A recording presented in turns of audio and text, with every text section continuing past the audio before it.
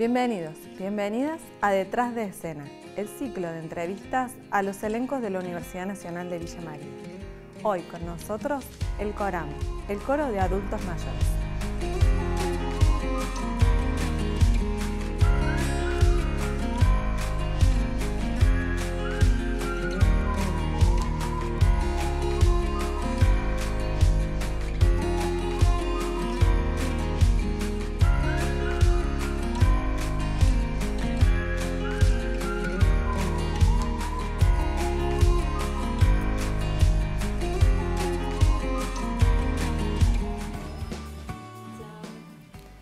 Estamos con Laura Alberti, directora del CORAM, el coro de adultos mayores. Hola Laura, ¿cómo estás? Hola Mari. ¿Todo bien? Todo bien, todo bien. Contanos Laura cómo es el, elenco, de qué se trata.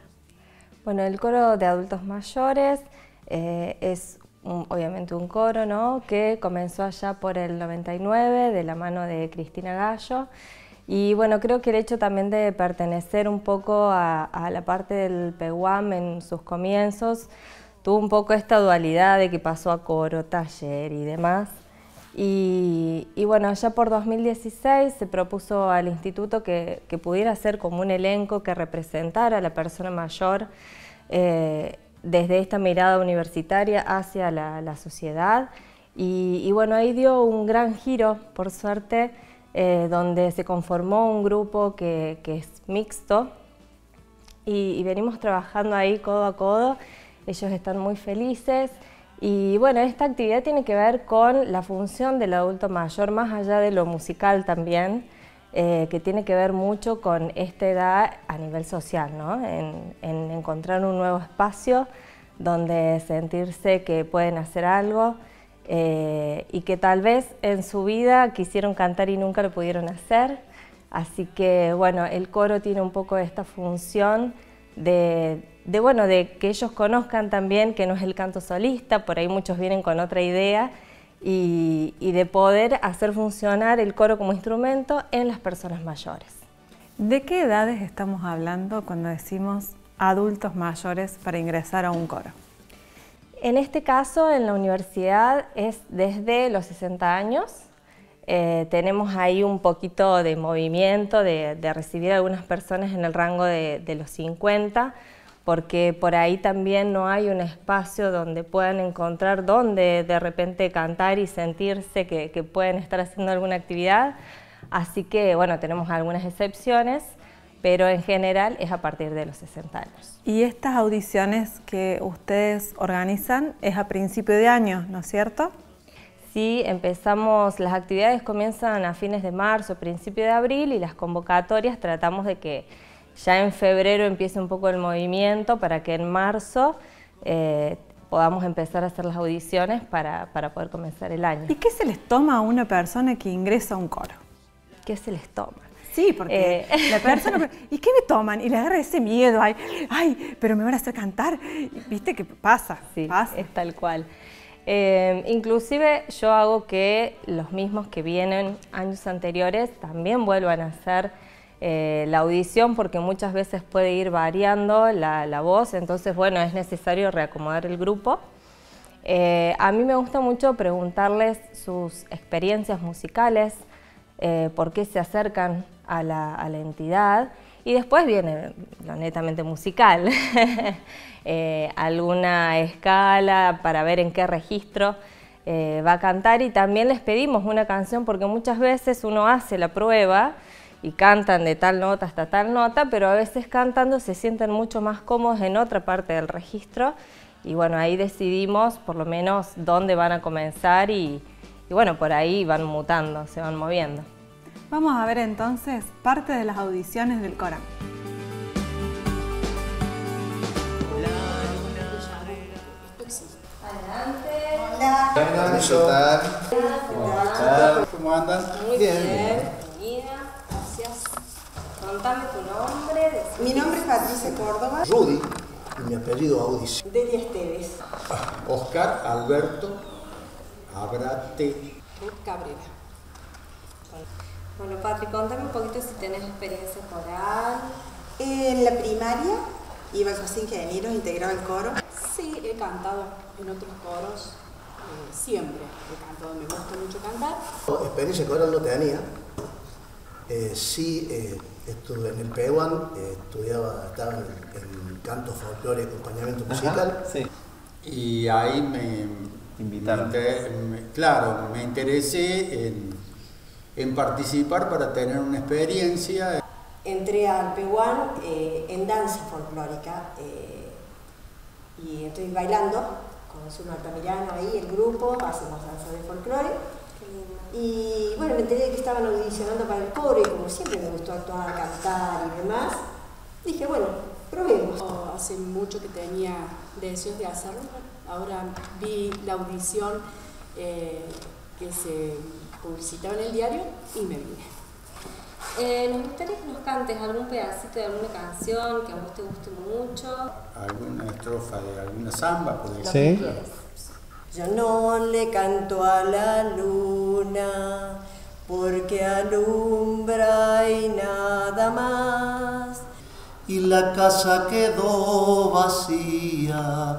En silencio quedó mi vida y me fui llevando en mi equipaje. Pero le salta al ballisto si le canta Cafayate.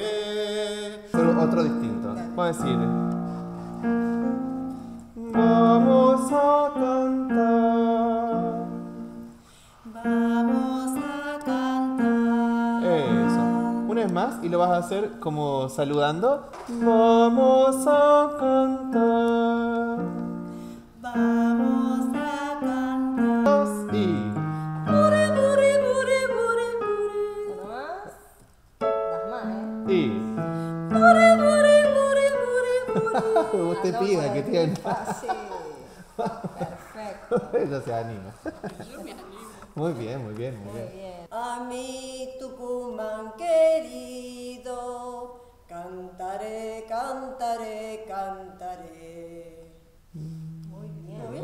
Pero le salta al ballisto si le canta Cafayate. ¡Qué bonito! Los recuerdos nada más. Eso, muy bien. Último deseo en la vida. Te vamos a estar avisando. Bueno, un correo, bueno. un correíto, le vamos a avisar. Voy a esperar ansioso la... Bueno, muchas gracias. bueno, muchas gracias. Adiós. Y vuelvo al tema de las audiciones, porque yo sé que es un problema para la gente cuando se quiere inscribir. ¿La canción la traen ellos o la propones vos? No, yo les pido que la traigan ellos. Que sea algo que se sientan cómodos, que no sea, ahora te voy a observar, sino que, que se sientan cómodos y que canten realmente lo que tienen ganas, que también es un poco el objetivo de, que, bueno, que se sientan cómodos en el coro también, más allá de que uno lleve un repertorio y una propuesta, eh, que bueno, que estén porque les gusta, digamos, básicamente. ¿Cuáles son los objetivos del coro de adultos mayores? Los objetivos tienen que ver, eh, sobre todo al ser un coro que pertenece a una universidad, creo que está ligado a que eh, la universidad tenga este espacio para la persona mayor, que se sienta representada, que va más allá de la etapa universitaria, juvenil, digamos, que, que hemos pasado, sino de esta apertura hacia la, hacia la sociedad y, que ellos pueden hacer un bellísimo trabajo de, que bueno, se sienten muy cómodos también y muy felices cuando hay producciones, cuando se sale y, llevan esa bandera. Estoy representando a la universidad, para ellos es muy importante, entonces eh, creo que es muy necesario el espacio. Eh, hace poquito tuvimos así como un chequeo de, de ver en- a nivel país y son muy pocos los coros que realmente están en las universidades de personas mayores. Eh, hay muchos independientes, eh, pero en la Universidad Nacional hay muy poco. Entonces, poder llevar esa bandera y poder difundir y que de a poquito eh, se vaya generando este espacio, creo que es, es uno de los objetivos primordiales, más allá de, de que bueno, lo musical siempre está, ¿no? También, pero, pero creo que eso tiene, tiene su fuerte ahí. ¿Y cómo es un día de ensayo en un coro de adultos? Un día de ensayo, un agotamiento. si te escuchan, te van a... Me matan. Ellos lo saben, ellos lo saben. Eh, lleva mucha energía. Eh, creo que, que, se genera, inclusive hasta a veces dejamos el momento de charla, ¿no? de encuentro, eh, que no sea solo, bueno, acá me siento a cantar y me voy. Eh, tiene que ver mucho con el interactuar, con comprometerse con el compañero, saber qué le pasa al otro. Eh, creo que es muy importante saber, sobre todo por la etapa en, la que se está viviendo, eh, con ellos, yo desde mi parte he compartido los dos embarazos y siempre me han acompañado muchísimos. Creo que se crean muchos lazos en el coro. Entonces, ese lugar de que uno espera llegar y que bueno, antes de la pandemia también es el salir y, el ir a tomar su café de grupos, de interactuar entre ellos. Eh, y bueno, y dentro de, lo musical siempre están los desafíos, eh, el momento por ahí de juego, de lo vocal, de ver qué ejercicio para poder avanzar, eh, el repertorio, poder trabajarlo, las pautas que uno va va diciendo y cómo se va desarrollando el, ensayo, muchas veces te puede sorprender de que a veces pensaste tales cosas y a veces las aprendieron rapidísimas y tenés que empezar. No funcionaron. no funcionaron. Eh, entonces, bueno, cada ensayo es particular, es un desafío también para quien está al frente. Eh, tiene toda una dinámica de que ellos también vayan aprendiendo, porque bueno, son personas que ya tienen una identidad muy formada, que muchas veces pueden tener sus intercambios, entonces creo que tiene que estar presente eh, de cuáles son las pautas, de, de, que sí, que no, qué es lo que va a suceder, eh, y bueno, más o menos es un poquito de eso, pero sí es mucha energía, para ellos también, yo creo que es como llegan y se van tranquilos, porque hay todo un, un, gasto de energía muy importante en el canto. Bueno, vamos a ver lo que son los ensayos del Corán. Estoy en el coro porque amo cantar, amo cantar. El Corán en principio por tango. Después fui a folclore y me, me dijeron que entrar en coro. Yo ya tengo experiencia de coro cuando tenía 13 años. Eh, en el secundario del Rivadavia. Y estoy acá porque me encanta el canto y para hacerlo sola nunca he sido capaz. Eh, yo era, eh, pertenecía al taller de folclore del Pehuán. El coro, el coro que existía en ese entonces era coro prácticamente de mujeres, no había varones.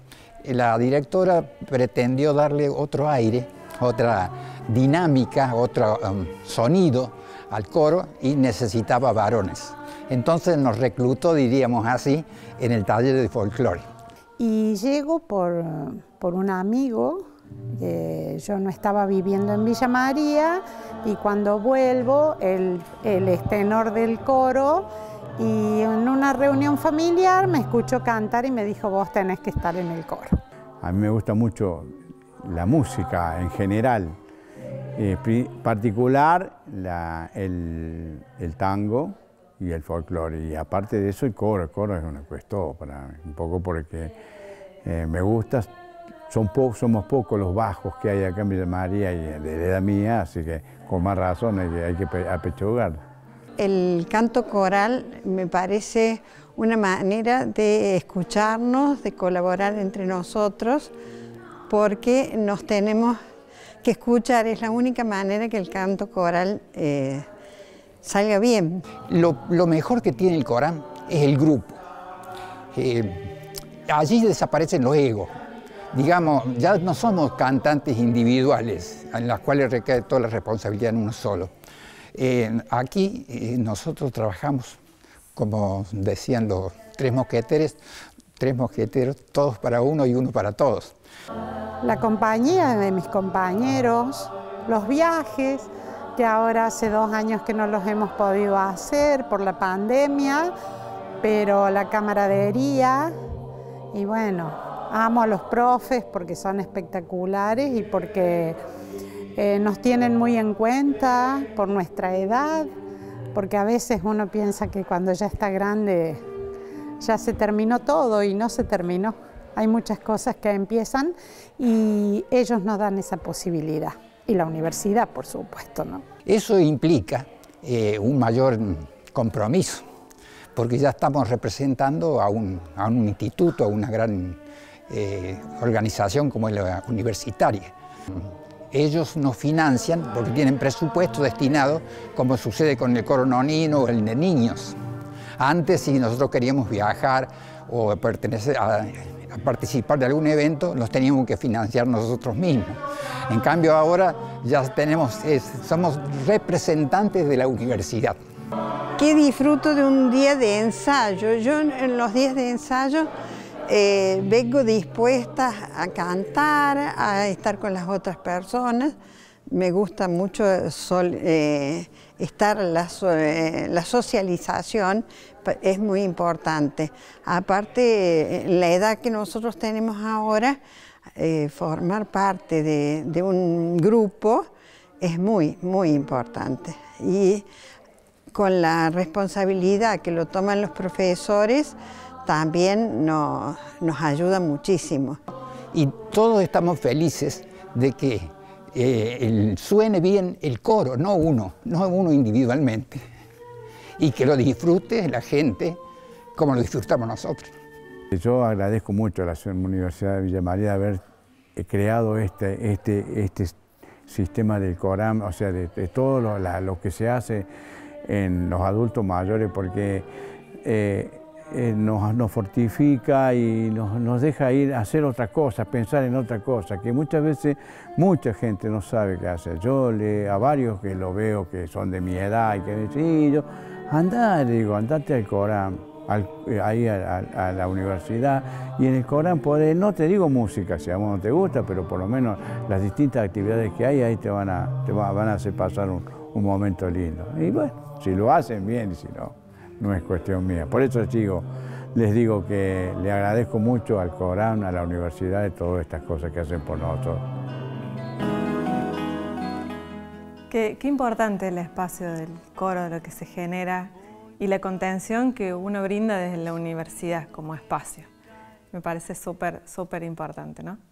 Así es. Eh, bueno, se generan muchos lazos. Eh, hay muchas historias, generalmente, bueno, tratamos también de acompañar, ¿no? Eh, sobre todo desde que está el equipo también uno puede acercarse mucho más y, bueno, ellos esperan también, son súper responsables, te avisan, hoy no voy a ir porque me pasó tal cosa. Eh, y uno desde el otro lado también cuando sabe que hay alguna dificultad está presente, digamos. Por ahí no en el grupo, tenemos un grupo de WhatsApp, pero hay cosas que uno, bueno, las comparte y las va siguiendo. Eh, es muy importante toda la, historia de vida que traen, eh, esto de que hablamos ¿no? de, sentirse útil, eh, de lo que pueden compartir, inclusive ellos tienen otros espacios aparte, se van creando estos lazos, hay gente que le gusta mucho cantar y lo sigue haciendo solista y así mismo ha tenido la ductilidad de, de poder sumarse al coro y de que saben que no es para nada lo mismo, eh, y asimismo les gusta mucho la experiencia de, sumar las voces ¿no? y, de lo que pasa con el otro. Eh, son vivencias muy distintas a las que por ahí se pueden tener individualmente. Y, bueno, el compartir y acompañarse creo que, que es fundamental. Bueno, nos vamos un corte y enseguida volvemos con más CORAM, el coro de adultos mayores de la Universidad Nacional de Villa María.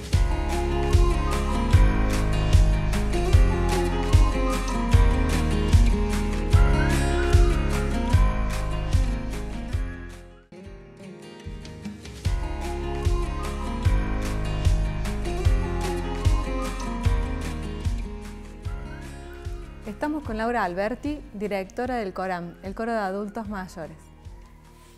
Contanos qué particularidad tiene el elenco. Bueno, el coro, una de las particularidades que tiene es que eh, lo integran personas de 60, 50 y algo, pues si no van a decir que los dejo afuera, eh, de 50 y algo hasta 93. ha quedado una buena camada, porque bueno, el coro tiene 20 años, eh, entonces están estas primeras pioneras que, comenzaron, eh, están ahí firmes, ahí uno se da cuenta bueno, de lo importante que ha sido para ellas el, coro en su vida. Y, bueno, entonces interactuar con ellos y con toda esta, mezcla ¿no? de, edades es súper importante, digamos, y, y bueno, vamos aprendiendo mucho también de eso. ¿Tienen equipo de trabajo? Tenemos un equipo de trabajo, eh, que si bien, bueno, desde los comienzos eh, siempre trabajé más a la par con, con, el instrumentista y con las chicas que estaban ahí en extensión, que siempre me hacen el aguante cuando necesitaba algo. A raíz de tener un equipo de trabajo es muy importante, creo que, que es un ida y vuelta en, en cómo uno lleva el trabajo, una perspectiva sobre ese trabajo las cosas que por ahí a veces a uno se le pasan y de repente está esa propuesta de si vamos para este lado, si hacemos lo otro, eh, tener a quien consultar un poco y el acompañamiento, de decir, bueno, estoy acá, me dedico más al repertorio y sé que otro profesional puede hacer eh, la parte de, de, la parte vocal. Eh, sí, el apoyo. Secretaria, claro, todo, poder derivar y, trabajar en equipo, digamos que eso es lo importante, poder saber derivar también.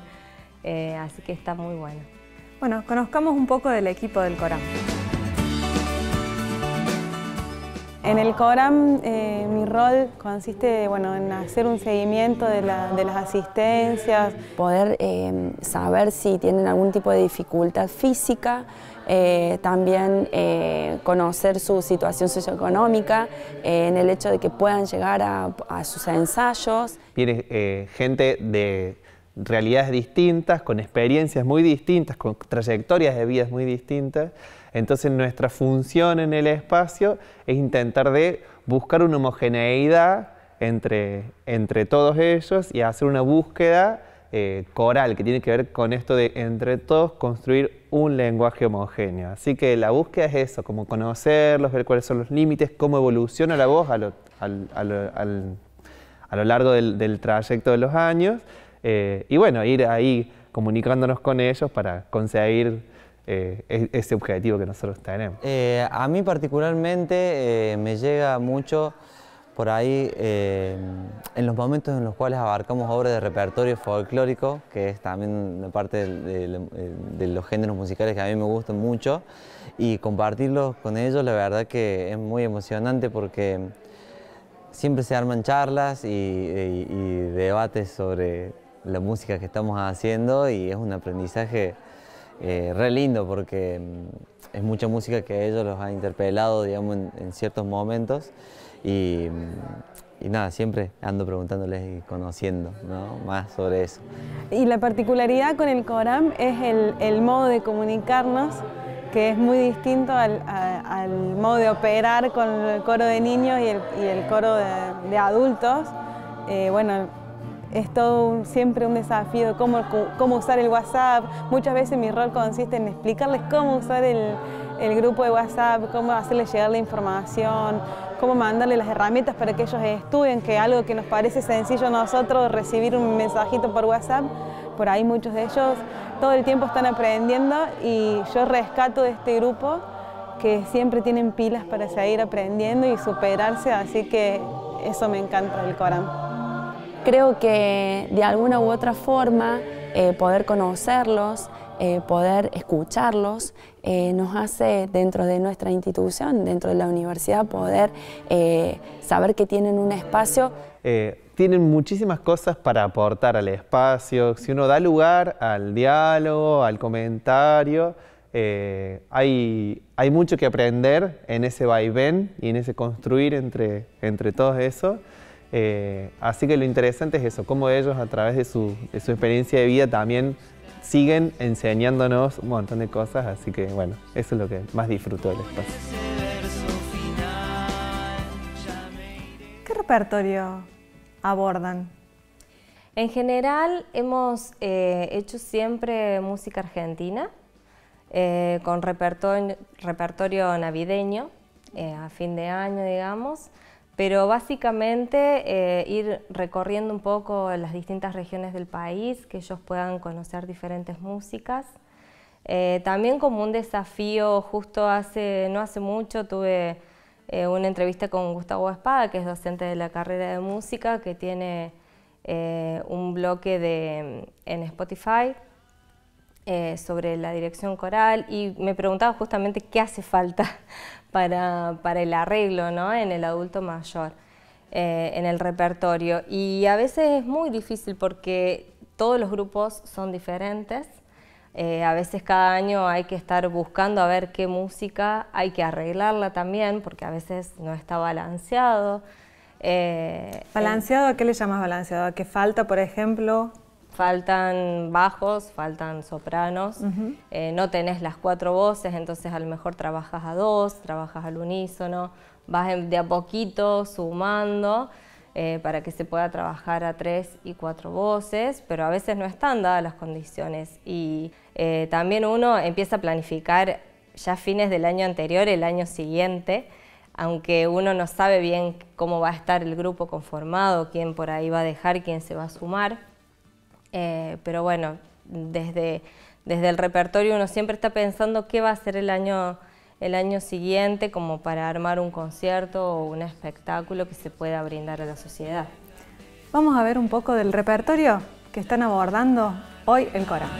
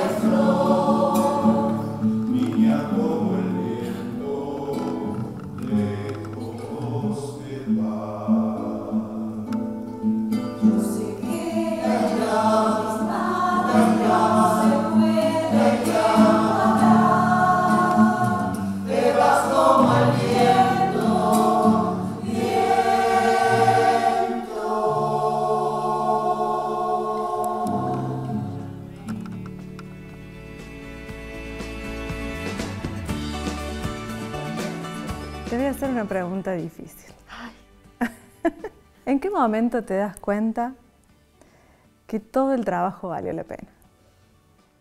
¿En qué momento?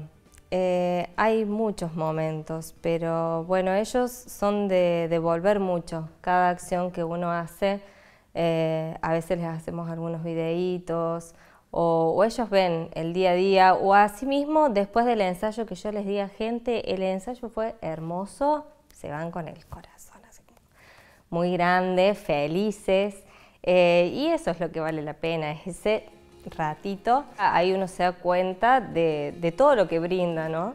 Así que está muy Bueno, gracias por tus palabras emotivas. Nos vamos al corte y enseguida volvemos con más del Corán.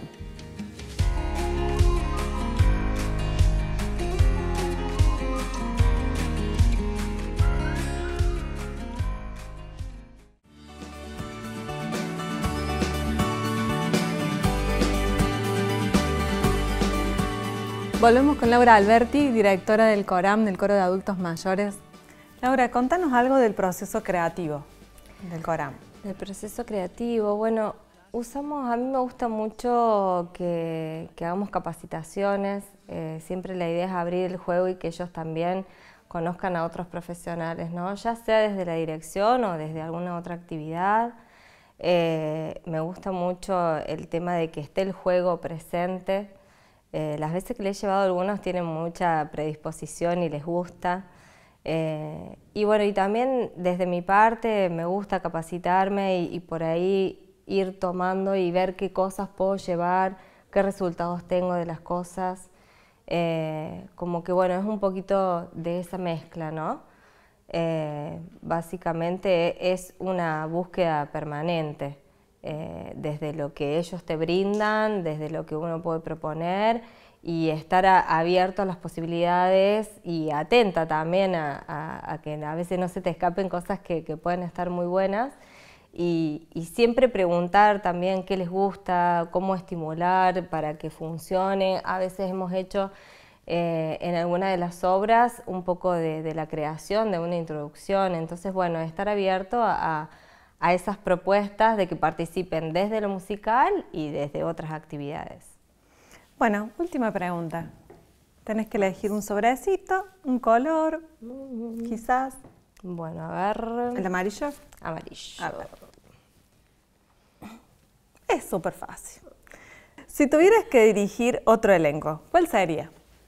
¿Cuál sería? Bueno, yo lo voy a cambiar.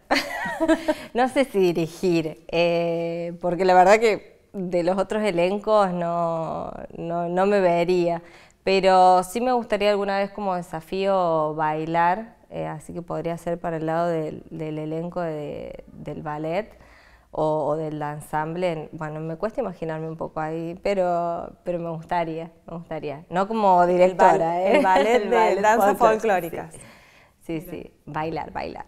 Laura, gracias, gracias por venir, por, tus respuestas. ¿eh?